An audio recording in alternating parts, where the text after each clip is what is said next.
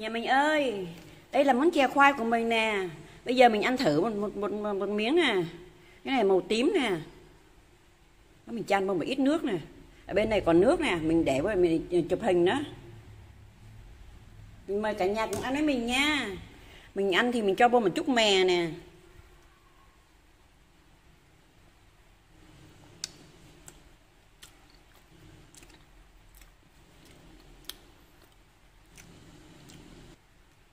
Cả nhà ơi, rất là ngon. Khoai thì mềm mềm, dẻo dẻo, nước dừa thì béo béo.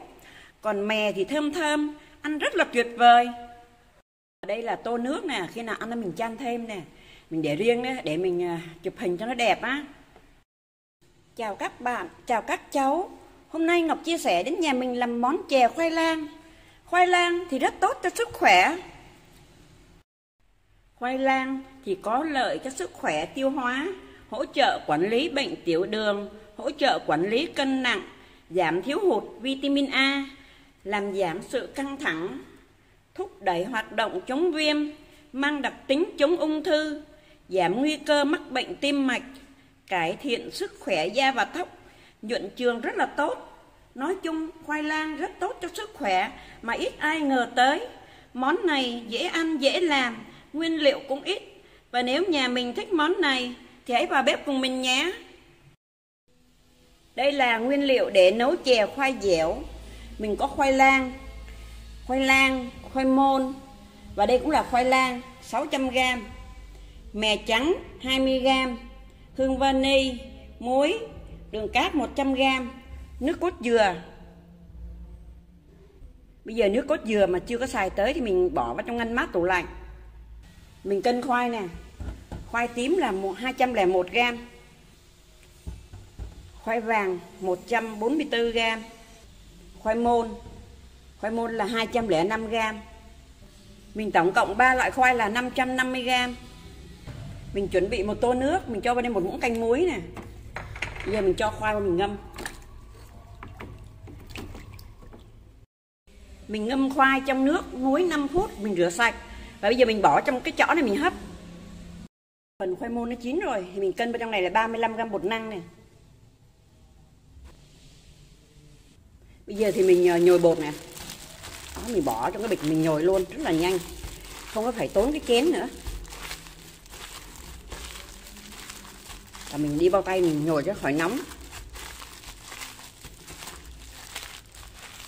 Có thể nhồi một tay vẫn được. Đây là phần khoai vàng ít ấy, mình cho 30g bột năng. Bây giờ mình cũng bỏ trong bịch ni lông mình nhồi nè. Nhồi bằng bịch ni lông này rất là nhanh mà không có dính tay, dính dính chân gì hết á. Nhanh lắm.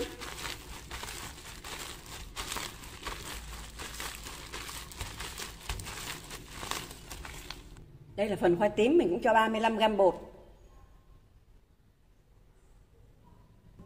và mình cũng nhồi như mấy lần trước á và mình à, mình lấy ra cái nào mình vẫn để trên bếp mình hâm cho nó nóng á để cho mỗi lần mình nhồi cho nó dễ ví dụ mình lấy khoai vàng đó thì hai thứ khoai kia mình vẫn để trên bếp, mình để lửa nhỏ nhỏ thôi. Để cho nó nóng lần sau mình làm nó dễ làm. Bây giờ quay trở lại với cái phần bột à, khoai môn này thì mình thấy nó hơi nhão á. Thì mình cho thêm bột nếp vô nè. Mình cho bột nếp vô, lúc ờ, này thì nó sẽ ngon nè. Đó, và ta tiếp tục nhồi tiếp. Bây giờ thì nó nguội rồi, mình không cần bao tay nữa. Rồi tiếp tục mình bóp tiếp này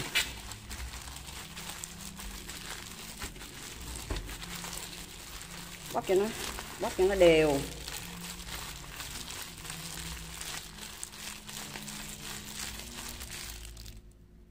Bây giờ mình đổ xuống bàn á, mình nhồi bàn mình lau sạch sẽ rồi. Mình đổ ra bàn rồi, bây giờ mình nhồi lạn thêm một chút nữa để cho nó mịn. Thí dụ mình thấy cái khoai sưởng thì mình lấy nó ra. Và cái khoai môn này nè, mình làm xong thấy cái màu nó xanh xanh tại vì mình mua khoai trắng không có, cho nên mình xài khoai môn.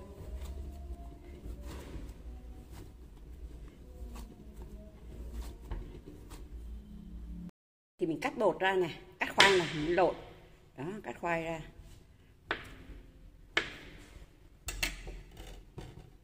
Và mình lăn như vậy này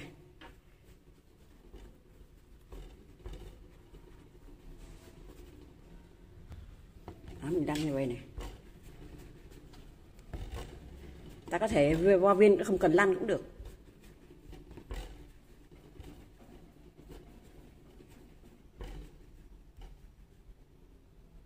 bây giờ mình cắt khoai nè đó mình đừng thoa bột thoa bột mình khó viên lắm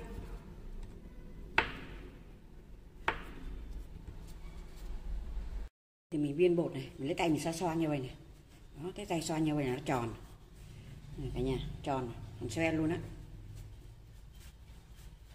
và cái thớt đó, đừng có láng quá thớt láng quá khó làm. Thớt ý là cái thớt bóng quá đó khó làm. Đó. và mình không có nên thoa bột thoa bột nó khó làm lắm. Rất là dễ.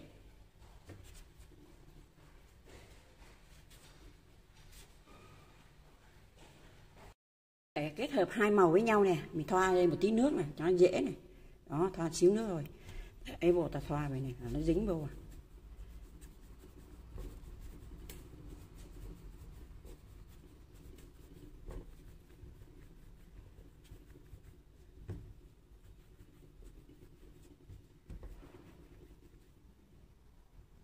Mình dao bằng, dùng dao bằng nhựa nhựa đấy mình cắt nó dễ hơn nè, nó không có dính.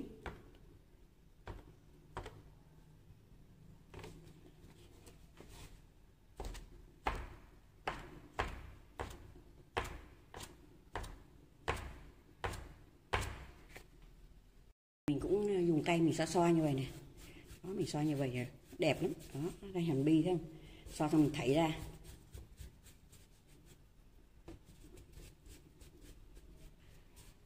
Đó mình thảy ra.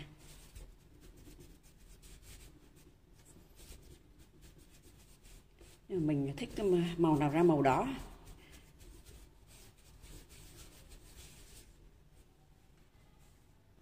bây giờ thì mình có 100 gram dừa non nè. Dừa này người ta uống nước rồi á. Xong rồi mua cái này về nè. Ba ngàn một trái mình mua về mình nấu chè ăn rất là ngon. Vừa nó non thôi chứ mình đừng lấy già. Già nó, nó cứng.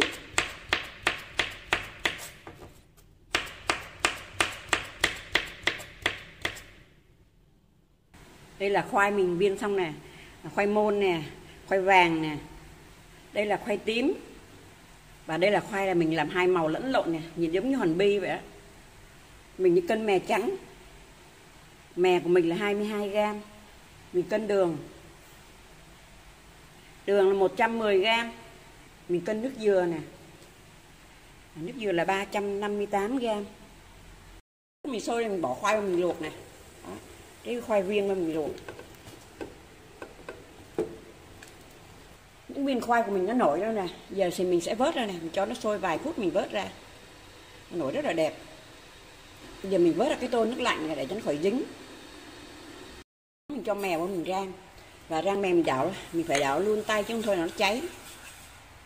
Mình vàng vậy là mình tắt bếp nè. Chảo mình vẫn nóng đó. bây giờ nước sôi mình cho dừa vào mình luộc nè sôi khoảng 3 phút là mình tắt bếp. Dừa sôi được 3 phút thì mình cũng vớt dừa ra nè. Nấu chè này mình bỏ trong này là 250 ml nước. À, đường này 110 g đường.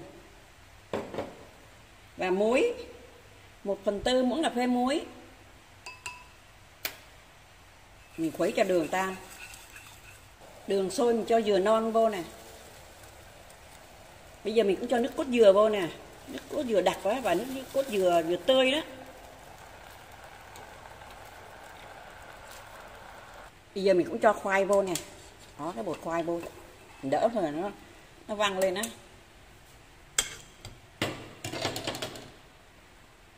Mình sắp sửa sôi rồi đó. Rồi đó. nó chuẩn bị sôi là mình tắt bếp nè. Nếu mà nó sôi thì nước dừa mình nó không có ngon và mình nếm thử xem mà nó có vừa không này.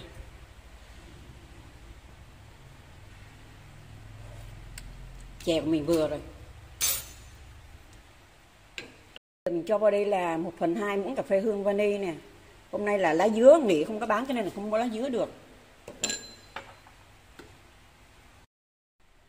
Video nấu chè khoai lang của mình đến đây là hết. Chúc cả nhà thành công. Nếu cả nhà thấy thích thì hãy like, đăng ký và chia sẻ cho mình nhé cảm ơn cả nhà đã xem video của mình. Xin chào và hẹn gặp lại.